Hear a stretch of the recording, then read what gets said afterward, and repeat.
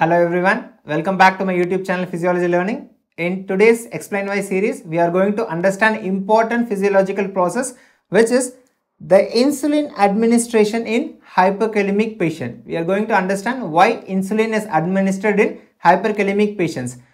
Whenever we hear this, this is one of the best treatment for hyperkalemic patient, especially it could save the life of the hyperkalemic patient. And why hyperkalemia is very dangerous? Because of its ability to cause lethal arrhythmias. It will cause severe arrhythmia of the patient and the patient can die at any moment if the hyperkalemia is very severe.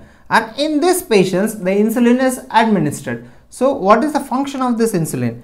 So what is hyperkalemia? Hyperkalemia means that is the extracellular ECF potassium levels are increased.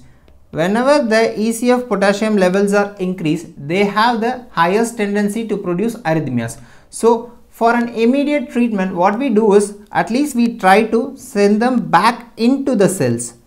Who helps it to does it? Obviously the insulin.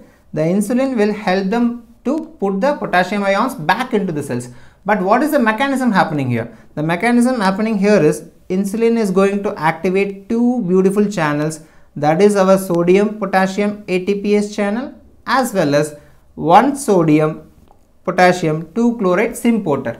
So what does our sodium potassium ATPase channel do? Our sodium potassium ATPase channel's ideology is to throw sodium out and take in the potassium. So what the other channel does? This other channel can take in sodium, potassium, chloride all inside the cell. So basically what we are trying to do here is we are pushing all the ECF K plus into the cells to save the patient from lethal arrhythmias. Then after some time what happens is this potassium comes back slowly and it can be eliminated by the kidney. This administration of insulin is very effective and usually the action begins in 15 to 20 minutes. This is one of the wonderful treatment which can save the hyperkalemic patients. Whenever you administer insulin, what is one more caution you have to be? Insulin can cause hypoglycemia. So you ideally it is always given with a dextrose solution. So insulin plus dextrose is one of the beautiful treatment given for hyperkalemic patients. I hope it's clear. Thank you for listening. We'll see in the next video.